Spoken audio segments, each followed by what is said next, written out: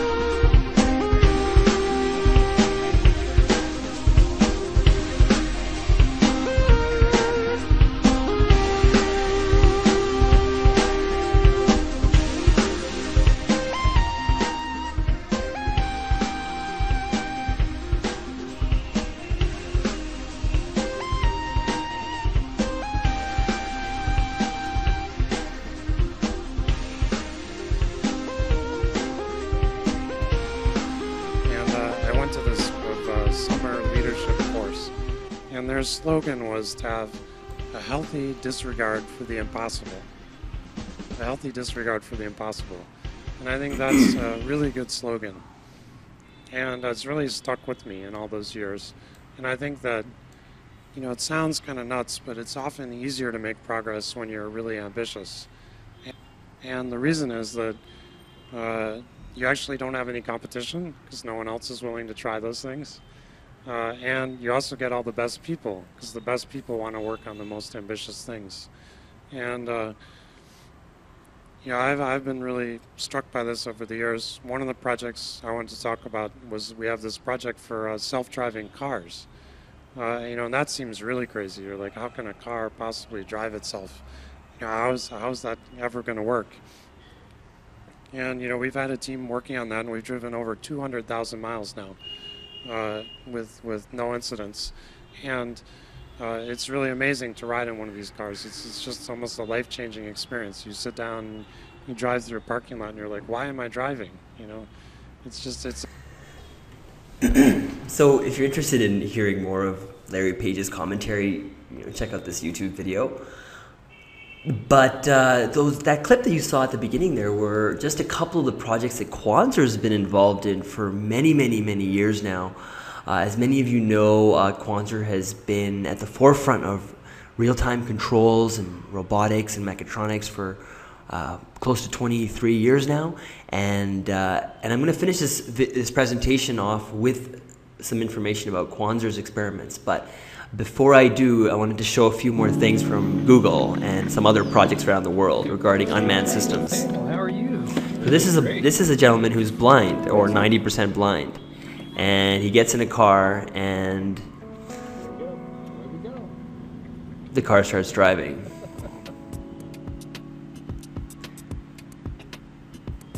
Pretty crazy. So if you haven't seen it, check out this uh, check out this video as well. It's very intriguing. Uh, here is a test drive of the Google No hands? self-driving Oh, not car. yet. Well, just a little bit of keyboard hands. Are we clear? Make sure you keep an eye on the knees there. Good to go. Hey guys, how we doing? Doing good. So we're going out for a Sunday drive, right? Five, ten miles an hour, something like that. Totally. All right. On the roof The of a Google self-driving car. We are in a self-driving car. You get to hold the keyboard. I do. Wait, there's characters on here I don't recognize. The Hans team will never believe this. Oh my goodness. Go is the right word. Holy shit. Holy shit. There's no fucking hands on that wheel. Oh my god. What? It's driving itself. ah! so that's actually uh, real footage. And so here's a, a Forbes article about self-driving cars will take over by 2040, and here they had some some nice uh, stats about how GM's Cadillac division expects to produce mass-market partially autonomous cars by 2015. Audi and BMW. Google has a fleet of autonomous Toyota Priuses. Volvo's working on their thing. ABI Research. So I mean, there are a lot of major major companies now really looking at this and uh, and so there's some there's some YouTube videos about how Google's self-driving car works, and they're pretty interesting. See downtown Monterey with pedestrians, and this was all done with self-driving cars. Uh, some of the terrains we carved um, like in our vehicles. So after going through the urban challenge, So there you go. You've got uh, you've got a laser. So I think they call it a lidar, but it could be a different type of laser. But this laser, this is a device that has a laser on it, and it spins around really really fast, and essentially maps your surroundings. You've got your GPS, so you know where you are. um, that most people know what GPS is. You've got a wheel encoder, so this is a uh, most likely a digital encoder that's that's telling you know the, the computer, uh, which is the most important part of this car, uh, exactly where your wheel is. And then you've got radars and you've got sensors all over uh, the, the vehicle to, as redundancy mechanisms as well. to learn a lot about what was necessary and what kind of. So, um, again, I, I don't want to go through each one of these videos, but just wanted to give you a few things to look at if you are interested in learning more about autonomous vehicles. Here's now a Volvo working on a similar project. convenient since I can do something else than the actual driving. Safe since the system will take care of the driving, it will eliminate the human errors. And then fuel efficient since we use a minor gap size between the vehicles, we will reduce air drag and thereby fuel consumption.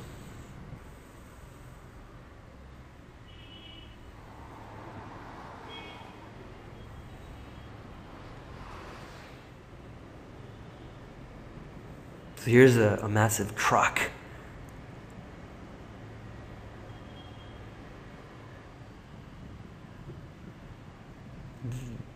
I guess that's there for its safety. I don't think that's actually automated. There we go. This is the lady that's automated. You see she's reading a magazine. It's quite fun to see uh, the passing vehicles. Hilarious. So here's another article. Self-driving cars are now street legal in California. So California has become the third state to welcome driverless cars with open arms. Governor Jerry Brown signed a bill into law today that officially legalized self-driving vehicles, following in the footsteps of Nevada and Florida. So I mean, it's not a matter of when. Uh, it's not a matter of sorry whether this will happen or not. It's just a matter of when it will happen. Um, just again, talking a little bit about unmanned systems. Here's a, a really, really interesting project that took place uh, in, I believe it's in the Grasp Lab. Yeah, in the Grasp Lab at University of Pennsylvania. And this this video really went viral last year. single, double, and triple flips. We developed a method for flying to any position in space with any reasonable velocity or pitch angle. We use the method to fly through windows at various angles. Here there's less than 3 inches of clearance on all sides of the quadrotor. So if you definitely, if you haven't seen this video, do check it out. Uh, aggressive maneuvers for autonomous quadrotor flight, and there's quite a few other uh, videos on that YouTube channel as well. So next, I wanted to to move over to some of Quanser's systems. So this is uh, the Qbot. So if you've heard of iRobot's uh, Roomba, the vacuum cleaner, um, then you know about iRobot. So we actually worked with that company to release the Qbot, which is essentially it's based on the iRobot Create vehicle, which is uh, the Qbot's designed for engineering, teaching, or research, so it can be used for both purposes. Uh, it's an autonomous ground vehicle and an ideal platform for research in an indoor lab environment.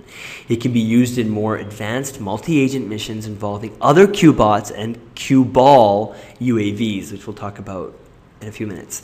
It is also a valuable tool for teaching both basic or advanced vehicle navigation and control. Okay, so the, this is the brochure. Uh, so once again, if you click on the left side here, you can open up the brochure. This is the Unmanned Vehicle Systems Laboratory brochure. So this, so Quanser's been in the business of building unmanned vehicle systems for many, many years. Uh, we've been doing outdoor, indoor projects with the uh, DRDC. Uh, we've integrated many, many, I mean, every, uh, you know, quadrotor out, not every, but many of the quadrotors out there, we've, co- companies out there, we've worked with them. Um, but really, uh, in the last few years, we've asked ourselves, how do we take what we know about unmanned systems and offer a an indoor an indoor laboratory uh, laboratory system that's practical that researchers can use that professors engineering professors can use to teach concepts. So something that's you know going to be durable the things that the Quanser's have, that Quanser's been known for now for more than two decades we're trying to bring that now to the unmanned systems lab space. And it's been very successful. So I'm going to sh- share a few things here with you. So if you open up the brochure, you can see that, again, our our software, the QUARC software, which sits on top of MATLAB and Simulink, acts as your rapid control prototyping environment for everything in your system. So again, you know, I showed you a G, you know, I talked about GPS earlier. So when you're indoor, you don't have GPS. So you need a series of OptiTrack track cameras. So again, um, we offer those as a part of the system, and they're integrated through QUARC to MATLAB and Simulink and eh, many of you know what that already means, but just for those of you who don't, you know, any the, the beauty of Quanser systems is, is that everything is integrated. Uh, you're and and as a professor or as a grad student, you're able to take your control algorithms, your control ideas, as long as you can put them into MATLAB and Simulink, you can bring them to life on your actual system. Uh, and here, like I said, there's the Q-bot, which we talked about, and then there are there, then there's the Q-ball, which are the quadrotors. They're in cage, so they're safer. You know, you could have multiple quadrotors bump bump up against one another, and really, there's uh, there's just a lot of really cool things going on with that. So Here's the Qball again. You can download the specs here in more detail, but the quadrotor is uh, it is compatible with QUARC, and, and, there's a ground station that comes along with it. There's an embedded computer, so there's a, a Gumstix PC that, that's targeted through QUARC. Um, it, on the actual quadrotor as well. Like I said before, it comes with localization cameras, and uh, it also can target the Q-bot. So this is a video uh, that got quite a few hits. It's about 20,000 hits. Uh, this has the, the Qball inside of a cage. And I'm going to go through a couple of these videos really quickly, and if you're interested in you know, reading more and seeing more, you can always just Google it. So as you see, there's a cage around the entire Qball. So it's very safe. It's uh, it's perfect for, for a laboratory environment. Uh, and uh, so quad rotor essentially means there's four rotors here that are spinning, and uh, and there is an OptiTrack camera system that you see just in the edges of this video here that is helping to localize the system as well. So.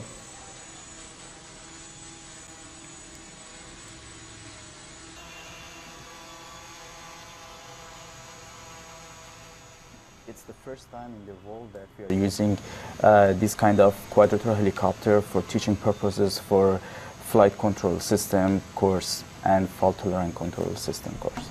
In this lab we have two Qballs. We use it for research and we go through many scenarios and very deep theory for fault tolerant control systems. Sometimes you like to evaluate some models, you like to fly with joystick and to see how the real system is close or far from your model.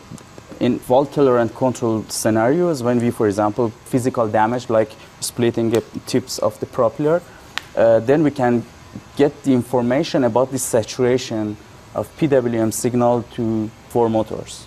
For last flight, you can see the plots. The blue line is the trajectory we gave to Qball, and the green line is the real position of the Qball, which tracks the trajectory. Most of the students, they see slides, they see the theory of flight, and they just hear some names like roll, pitch, and yaw. But when they come to the lab and they see, they get familiar with the theory of control, they see something is moving, and all that knowledge, you know, on paper or on computer now is going to be in real time.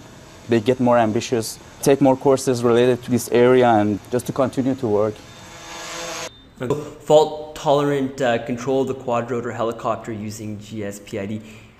So again, this is uh, just a whole bunch of videos you can check out online. Uh, there's this is I believe this is a very old video. So you see here, this is posted back in 2009 uh, with the iPhone. So because it's open architecture, because all of our systems are open architecture through MATLAB and Simulink, you can easily you know connect your system to the iPhone. So here you're you see the the user is controlling the Qball with the iPhone right? And so again, because of the open architecture nature, you're really able to do as much as you want. This is a UT Dallas, also using the Qball.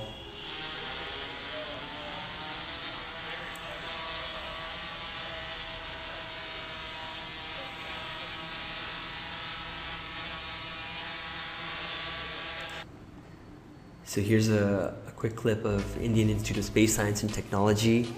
Uh, we were there just a few months ago setting up the QBot and the QBall systems for their controls lab.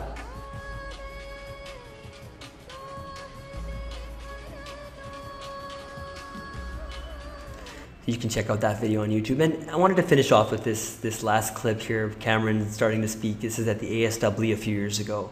And he really sums up what uh, the essence of Quantum's solution Unmanned systems lab setup, which is a uh, fully integrated unmanned vehicle laboratory that we that we sell for researchers. And what we're doing is uh, showing this off and doing several different demonstrations, allowing people to see what the equipment can do and also to actually take control of the equipment themselves and fly the vehicle. So these, these vehicles are uh, fully equipped with onboard computers um, that are uh, integrated with our powerful software platform. The software platform allows uh, researchers to quickly take these vehicles and begin working with them right away and uh, use them to rapidly uh, develop uh, applications for their research. This unmanned vehicle uh, laboratory is designed specifically for advanced researchers to develop. This is our CEO, Paul Gilbert. Control uh, algorithms for multiple vehicles, whether they be aerial or ground vehicles. It is uh, state of the art and it allows not just the development of controls, but it allows for rapid iteration between um, difficult and advanced control regimes. So again, that's our, that's our CEO, Paul Gilbert. Thanks again for joining us, and we'll see you again soon.